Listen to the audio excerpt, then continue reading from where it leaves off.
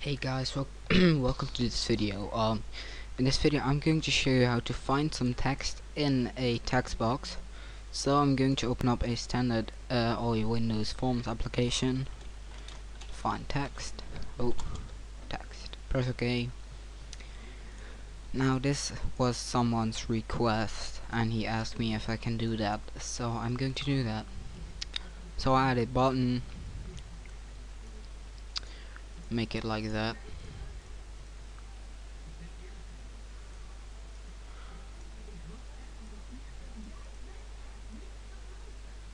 Like that.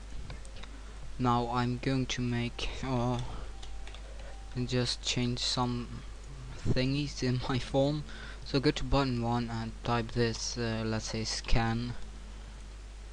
Double click on the button to get the code and type in if in str then the string name so it will be text box one text.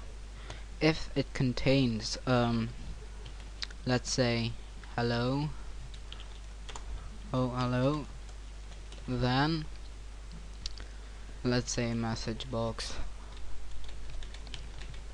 Hello. Hello was found in the text. Let's say critical. The title is warning or whatever you want to do. Looks a little bit stupid but okay.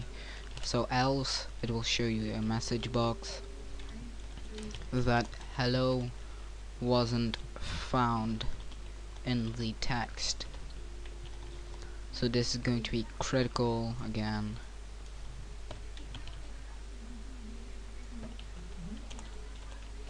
Warning.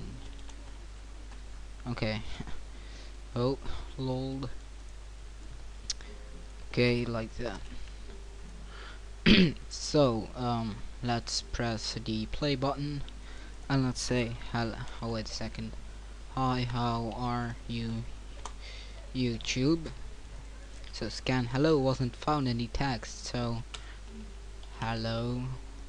Then it will show hello hello was found in the text.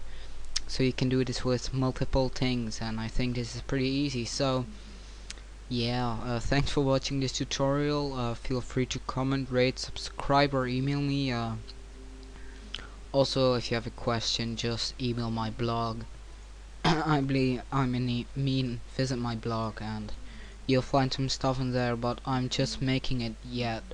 So there won't be uh, so much on there. So thanks again and I'll catch you later